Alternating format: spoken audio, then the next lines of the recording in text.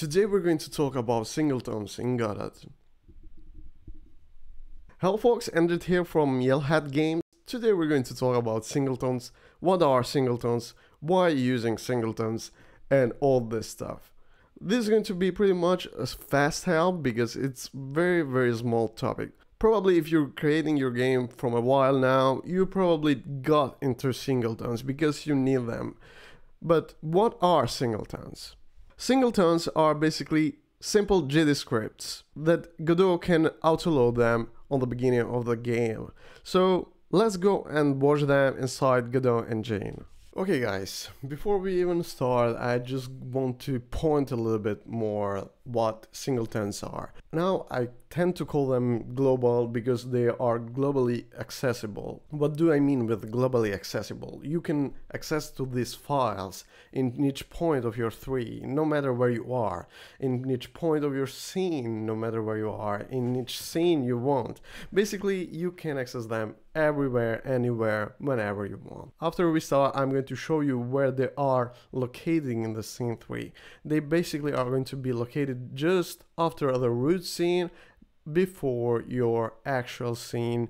Now, how do you create a singleton? A singleton is just a GD script, so you basically need to create a GD script, and I'm going to call it global, global just because I like this name. After creating your first global or singleton, whatever you want to name it, it really doesn't matter. We need to go to projects, project settings and autoload. And here we need to find our file and the file is this. And the name here, you can change it, you can give whatever name you want, but I'm going to leave global because global is fine for me. And just add it, it is already enabled and that's all we need to do.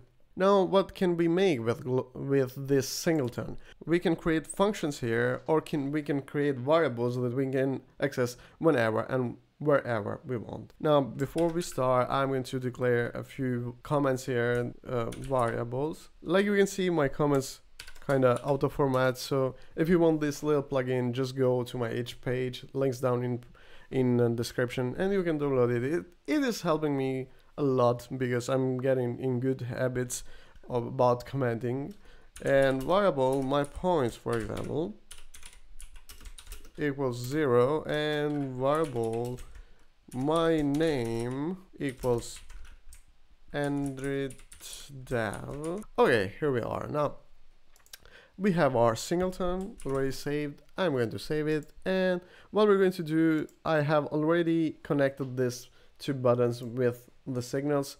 And these are two strings two labels. What i'm going to do is just to change you know by pressing the first button i'm going to add 10 points to the points now how can i do that Basically, I can do that just by calling global my points, like you can see, and plus equals 10, for example. 100, okay, that's fine. And I'm going to change this, this text just by putting here global and retrieving my points. And that's all. Now under here, this other button, I'm just going to set the text to my name. So global my name. Okay, let's see what is going to happen. Now, if I'm going to click this button here, it's going to add 100 points each time and it's going to display it. If I click this, uh, it's going to set the text to that other variable. Now I'm going to show you where your global file is name, uh, where your singleton is loaded. Basically if we go to remote here you can access basically the dynamically your scene what is happening in your game.